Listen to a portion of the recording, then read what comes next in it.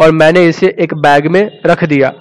Then she says तब वो कहती है and there is a law in this town और कहती है कि इस शहर में एक कानून है, एक नियम है।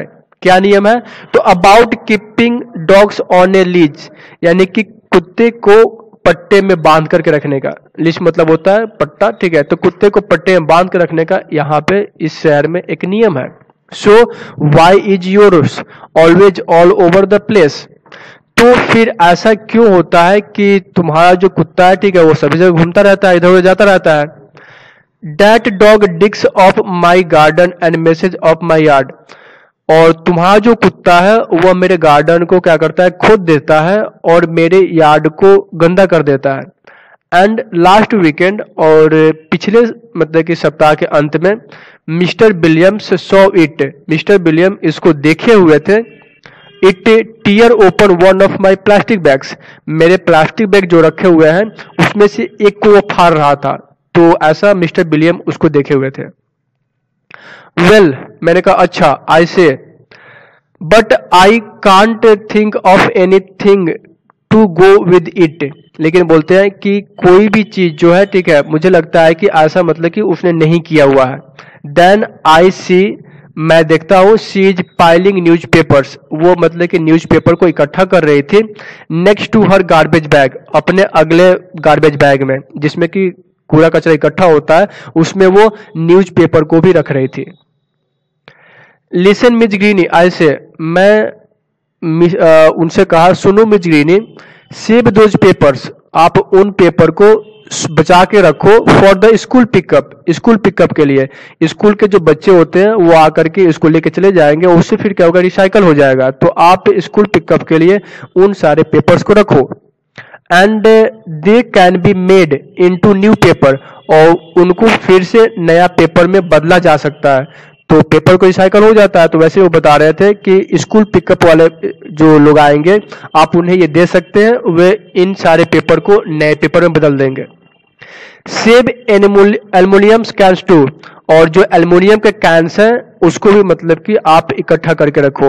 एल्युमिनियम के कैन जो मतलब डब्बे होते हैं एल्युमिनियम के, उसको फेंकना नहीं है, उसको आप इकट्ठा करेंगे तो फिर से नया एल्युमिनियम का कैन बन जाएगा। ये वो समझाता है। Like the last school pickup she she ask वो कहती है कि जैसे कि पिछले स्कूल पिकअप के जैसा where you said you had come and pick up them जैसे कि तुमने कहा था कि तुम आओगे, ठीक है एंड पिक अप देम तुम उसे उठाओगे but you never showed off लेकिन तुम कभी आए ही नहीं, कभी दिखे ही नहीं। It is easier to throw them away ये इसको मतलब कि फेंकना आसान है a few at a time than have a big mess like that इसको फेंकना आसान है। एक बड़े मेस गंदा रखने से अच्छा है कि इसको फेंक ही दिया जाए। ये बताती है Ms Ginny. I get tired of trying to get Ms Ginny to do something about ecology. और राइटर बोलते हैं कि मैं इकोलॉजी के बारे में मिजगिनी को समझाने में मतलब क्या, थक गया हूँ वो नहीं समझ पाई, उसको समझाते समझाते I go to Mister Johnson house और वो बोलते हैं कि मैं मिस्टर जॉनसन के घर पे जाता हूँ। She makes a run for his car वो क्या कर रहे थे? अपने कार को चला रहे थे। But I can run faster than he can लेकिन मैं उनसे भी तेज मतलब कि चल सकता था जितने की वो जितना तेज वो चला रहे थे। कहने मतलब ये है कि जो जॉनसन है, वो कार को इतने स्लो चला रहे थे जितना कि नहीं चलाना चाहिए कार को। राइटर जो है, वो बोलते हैं कि मैं उनके कार से तेज चल सकता था। यह है just trying to get to the post office before it closes he says huffing and puffing वो बोलते हैं कि मुझे पोस्ट ऑफ़िस के क्लोज होने के पहले मुझे वहाँ पे पहुँचने की कोशिश करनी है, वो बोलते हैं, ठीक है? You got time I say मैंने कहा कि ठीक है, तुम मतलब कि अपने समय पहुँच जाओगे you even got time to walk वो बोलते हैं कि तुम्हारे पास वो बोलते हैं कि आपके पास तो टाइम है, यहाँ पहुँच जाओगे, और आपके पास इतना भी टाइम मतलब था कि आप मतलब क्या कर सकते हैं कि आप टहल कर भी वहाँ पे जा सकते हैं। It is only two blocks यह केवल दो ब्लॉक की दूरी पे है। ओके तो ज़्यादा दूरी है नहीं तो आप आसानी से जा सकते हैं। You should not take your car when you don't need to तो आपको अपनी कार लेने की ज़रूरत नहीं होती है, जब आपको इसकी ज़रूरत नहीं है। सपोज़ अगर आपको थोड़ा ही दूर जाना है तो हमें कार लेने की क्या ज़रूरत है? तो वही समझाते हैं कि आपको दो ब्लॉक की दूरी पे पोस्ट ऑफ़िस जाना है और आप कार से जा रहे हैं। तो ये ठीक नहीं है। The walk would be good exercise and save on gas writer बताते हैं कि अगर आप पैदल जाते हैं तो इससे क्या होगा कि अच्छा एक्सरसाइज भी होगा और गैस की बचत भी होगी। एंड नॉट पॉल्यूट और मतलब कि प्रदूषण भी नहीं होगा। डेट्स इकोलॉजी यही तो इकोलॉजी है। दे sure are I said we had a lot about trees and ecology in school they make the air better and stuff like that they sure are वो मैं बोलता हूँ कि वो बिल्कुल निश्चित ये सब है। ऐसा करना चाहिए हम लोगों को कि हमें जब थोड़ा सा दूर जाना है तो बाइक से या फिर कार से नहीं जाना चाहिए। We had a lot about trees हमारे पास यहाँ पे बहुत सारे मतलब कि पेड़ हुआ करते थे। बहुत सारे पेड़ थे। एंड इकोलॉजी इन स्कूल और स्कूल में भी बहुत सारे पेड़ हुआ करते थे। They make the air better and stuff like that और जो पेड़ है, वो क्या करते थे कि हवा को अच्छा करते थे, साफ़ करते थे।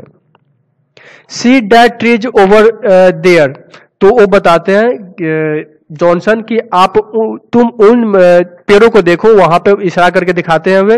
वो कहते हैं कि तुम उन पेड़ों को देखो pointing the pointing to where there is not any tree यानी कि जो जॉनसन है वह उस जगह पे पॉइंट आउट कर रहे थे जहाँ पे कोई पेड़ ही नहीं था। ओके वो बताए थे कि देखो, उन पेड़ों को देखो और वहाँ पे कोई पेड़ था ही नहीं। ओके तो अब बोलते हैं I don't see any tree I tell him writer बोलते हैं, मैंने उनसे कहा कि मैं वहाँ पे कोई पेड़ नहीं देख पा रहा हूँ। यानी वहाँ पे कोई पेड़ तो था ही नहीं तो कहाँ से देख पाएगा कोई? तो बोलते हैं जो जॉनसन है, वो बोलते हैं he says of course not हाँ बेशक वहाँ पे कोई पेड़ नहीं है एंड नो ग्रास आइदर और ना ही कोई घास है वहाँ पे। Because you made a path there make taking a shortcut from Mrs Ginny's क्योंकि तुमने वहाँ पे एक शॉर्टकट पाथ बनाया हुआ है मिसिज ग्रीनी के घर से। क्योंकि जैसे कि जॉनसन बताया कि हमें क्या कहना चाहिए कार को नहीं चलाना चाहिए तो वो सॉरी जो राइटर बताया था कार को नहीं चलाना चाहिए जॉनसन बोलते हैं, ठीक है, नहीं चलाना चाहिए अच्छा बात है। वो बताते हैं कि बहुत सारे पेड़ जो है हमारे यहाँ पे, वो क्या करते हैं कि हवा को साफ़ रखते हैं। वो कार्बन डाइऑक्साइड जो है, उसकी लेयर वो कम करते हैं ऑक्सीजन को बढ़ाते हैं। गर्मी कम होती है हमारे यहाँ पे। तो ये सब कुछ बताते हैं। तो वही बताते हैं जो जॉनसन है कि वहाँ पे देखो वो सारे पेड़ों को, जहाँ पे कोई पेड़ होता ही नहीं, वहाँ पे इशारा वो करते हैं। और जो जॉन लेक्सोंग है, जो राइटर है, वो कहते हैं मैं तो वहाँ पे कोई पेड़ देखता ही नहीं हूँ। ठीक है, वो बताते हैं हाँ वहाँ पे कोई पेड़ तो है ही नहीं, क्योंकि, ना ही वहाँ पे घास है, क्योंकि तुमने क्या किया है कि वहाँ पे एक शॉर्टकट रास्ता बनाया हुआ है मिजगिनी से घर पे आने के लिए। और जब शॉर्टकट रास्ता हम लोग कहीं बनाते हैं तो देखिए आप लोग क्या होता है कि वहाँ पे जितने भी घास है पेड़ पौधे हैं, सारे के सारे खत्म हो जाते हैं। तो वही यहाँ पे लिखा हुआ है। There was a little tree just starting to get bigger, वो बोलते हैं कि वहाँ पे एक छोटा सा पौधा हुआ करता था जो कि अभी शुरू किया था बड़ा होना। There until you killed it और जिसको तुमने मतलब क्या किया, उसको मार दिया। By trying to jump over it every day प्रत्येक दिन तुम उस पर मतलब जंप कट कर करके। कहने मतलब यह है कि वो उसे रास्ते से बार बार आया जाया करते थे। इससे क्या हुआ कि वो कुचल गए पैरों से। तो वही बता रहे हैं यहाँ पे। रिमेम्बर याद करो, ओह आई से मैंने कहा, ओह। And talking about not driving when you can walk और बात कर रहे हो ड्राइविंग नहीं करने के लिए जब तुम जब आप टहल सकते हो। You drive your motor bike round and round your back yard all summer तुम अपने मोटर बाइक को गोल गोल अपने बैकयार्ड में पूरे गर्मी घुमाते हो and your snowmobile all winter और अपने स्नो मोबाइल को पूरे जाड़े में स्नो मोबाइल बर्फ़ पे चढ़ने वाली बाइक होती है। इजेंट डेट वेस्टिंग पावर क्या यह पावर की बर्बादी नहीं है? And making noise pollution too और खास करके नॉइज़ पोल्यूशन भी है इससे। तो जॉन लेक्सो जॉनसन को समझाते हैं, मिस्टर जॉनसन को। तो जॉनसन पूछते हैं कि तुम तो मुझे समझा रहे हो, ठीक है, कि मुझे ड्राइविंग नहीं करनी चाहिए, मुझे टहलना चाहिए, मुझे पैदल चलना चाहिए, लेकिन जो तुम करते हो, वो क्या करते हो? पूरे गर्मी में, अपने बैकयार्ड में, जो घर के पीछे जो जगह होती है, उसमें मोटर बाइक को गोल गोल घुमाते हो, वो क्या चीज़ है? और फिर तुम जाड़े में स्नो मोबाइल चलाते हो, ठीक है, वो क्या चीज़ है स्नो मोबाइल ये क्या इससे पावर बर्बाद नहीं होता? क्या इससे नॉइज़ पोल्यूशन नहीं होता? But it is fun I say मैं कहता हूँ कि लेकिन ये तो मज़ा आता है इसमें ऐसा करने से, ठीक है? तो अब बताइए कि राइटर बोल रहे हैं कि मुझे मज़ा आता है। तो यहाँ पर आप देखिए क्या यहाँ पर जवाब मिलता है जॉनसन का। Well I enjoy taking the car to the post office he says तो जॉनसन कहते हैं कि अच्छा तो मुझे भी तो मज़ा आता है ना कि पोस्ट ऑफ़िस से कार से जाने में। But now you have made me too late लेकिन तुमने अभी मुझे बहुत ज़्यादा लेट कर दिया है। He goes in the house looking very mad और वो क्या होता है कि मतलब कि बिल्कुल आ, पागल सा दिखता हुआ वो घर में जाता है। Then I remember he has not paid me तब मुझे याद आया अरे मुझे तो जॉन लेक्सो ने चुकाया ही नहीं है यानी पैसा दिया ही नहीं है। But I decide to wait until next Saturday लेकिन मैंने डिसाइड किया कि मैं अगले सैटरडे तक वेट कर लूँगा। इंतज़ार करूँगा अगले सैटरडे ले लूँगा मैं पैसा। एट लीस्ट कम से कम I made him not pollute with his car for once लेकिन कम से कम मैं ना कम से कम मैंने उन्हें, कम से कम एक बार तो उन्हें कार से पोल्यूशन नहीं करने दिया। तो इसका मतलब ये हुआ कि जो जॉन डेक्सू है, वो कार को छोड़ करके वह पैदल ही जाते हैं पोस्ट ऑफ़िस ठीक है? तो कम से कम वो बोल रहे हैं कि मैंने एक बार तो उन्हें पोल्यूशन से पोल्यूशन न करने से बचाया। I don't talk to the rest of my route about ecology और बोलते हैं कि मैंने अपने बाकी के जो रास्ते थे, ठीक है, उसमें मैंने किसी भी तरीके की इकोलॉजी के बारे में बात नहीं की। वो सीधे घर आ गए। It is very boring work वो बता रहे हैं कि ये बहुत ही उबाऊ काम है। दिस इकोलॉजी बिट ये पारिस्थितिकी तंत्र। But when I get home लेकिन जैसे ही मैं अपने घर पे पहुँचता हूँ I see my mother using the electric mixer मैं देखता हूँ कि मेरी मम्मी इलेक्ट्रिक मिक्सर मिक्सर को यूज़ कर रही है, प्रयोग कर रही है। इलेक्ट्रिक मिक्सर जिसमें कि सामानों को हम लोग पीसते हैं, ठीक है? वो मशीन था, वो जो कि बिजली पे चलता है तो उसकी मम्मी जो है वो यूज़ कर रही थी। You should do that with your old egg beater I point out her मैं क्या करता हूँ कि उनको ये बताता हूँ कि आपको ये जो चीज़, ये जो आप कर रही हैं, मसाला बना रही हैं फिर जो भी कुछ पीस रही हैं, ये सारा जो काम है, आप पुराने जो एक बीटर है, उससे भी आप कर सकती है। एक बीटर का मतलब होता है कि एक को फेंटने वाला। एक बर्तन होता है जिसमें कि हम लोग मसाले कूट सकते हैं, पीस सकते हैं, उसमें आप कर सकती हैं मैनुअली यानी कि अपने आप मेहनत करके, ना कि इलेक्ट्रिक से चला करके। सेव और इलेक्ट्रिसिटी वो बोलता है, जो उसका, जो राइटर कि आपको इलेक्ट्रिसिटी को बचाना चाहिए।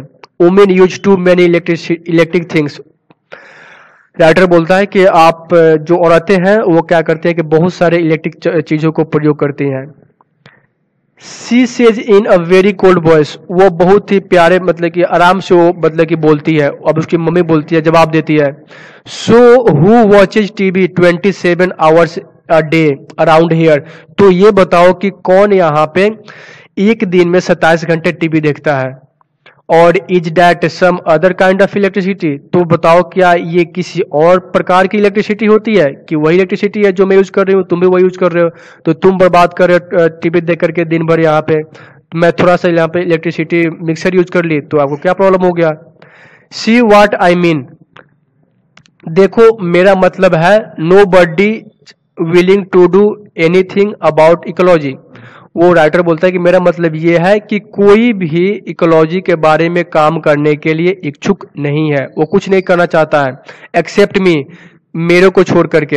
And nobody listens to me और ना ही मतलब कि मेरा कोई सुनता भी है। तो स्टूडेंट्स आपका लेसन ये समाप्त हो गया। तो मुझे लगा कि मैंने आपको अच्छे तरीके से समझाया होगा इस लेसन में। ठीक है, आपको बहुत अच्छे तरह से समझ में आ गया होगा। तो अगर आपको ये लेसन पसंद आए तो कृपया आप लाइक करें कमेंट